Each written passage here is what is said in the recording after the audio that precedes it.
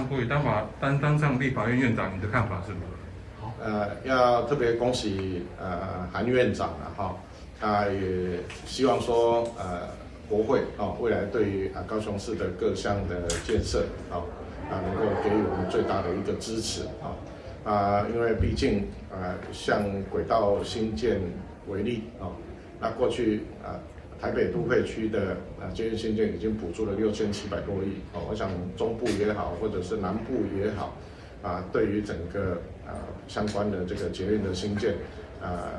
来促进啊绿色的交通，其实都非常非常的一个重要啊。我想啊，国土的均衡发展啊，啊过去长期以来的这种啊重北轻南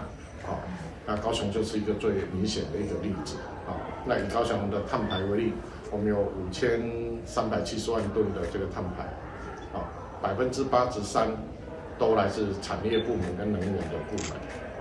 然后结果就是南电北送，啊，那台北市的碳排才一千万吨左右，啊，所以我认为，啊，我们在做整个区域的啊这个均衡，啊，的部分，好，应该要特别强调，啊这个呃呃绿色的均衡。韩院长对高雄的问题，他其实也非常的清楚，啊，也希望说，在韩院长呃。的带领之下，好，能够给予我们高雄市啊，这个